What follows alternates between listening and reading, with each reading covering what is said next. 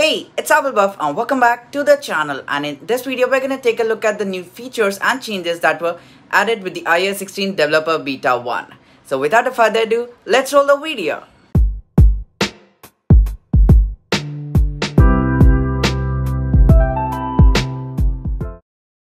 But before we get straight into seeing what's new, let's first talk about the update. This one was about 4.97 GB to be exact on my iPhone XR and yes, I did install the update on my secondary device because I feel it's too early to load it on my primary one.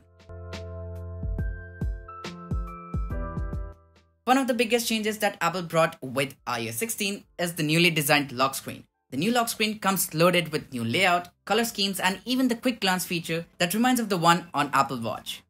With this update, the focus has been on customization of lock screen, which means you can not only edit the layout of it with different font style, color options that are available for both time and date. But also you can swipe to add effects which are auto-generated depending upon your current wallpaper on your iPhone. One of the interesting additions to the lock screen customization is being able to add widgets like the ones for weather, activity and even the upcoming calendar events for a quick glance at the info.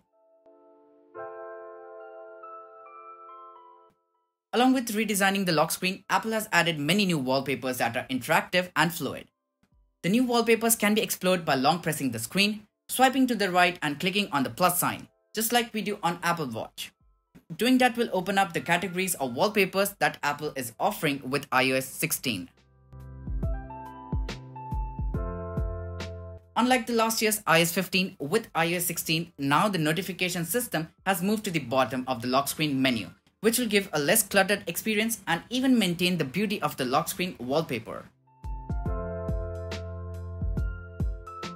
So finally, after a long wait, Apple has bought the ability to edit and even unsend messages after they have been sent on iMessage. This feature is like the most requested one, and yes, they added this even before Twitter lets you edit your own tweets. Lastly, with this update, we even got new actions for Memoji stickers.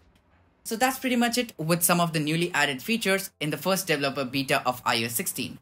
I shall keep exploring and keep you all posted with the further updates, but overall, I'm pretty impressed with the update. So with that being said, here's Apple Buff signing off. Catch you in the next one. Till then, peace.